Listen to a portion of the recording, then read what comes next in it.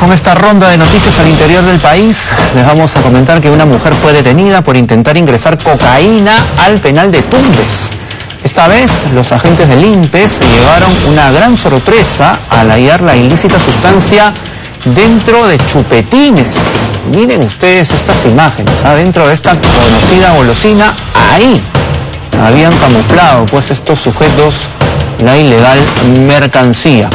Esta bolsa, llena de chupetines, entre comillas, iba dirigida a un interno que purga una condena de 11 años de prisión por el delito de robo agravado. La intervenida, la que trató de ingresar precisamente esta bolsa con chupetines cargados de cocaína, ya está en las manos del Ministerio Público para las eh, investigaciones, por supuesto, de acuerdo a ley.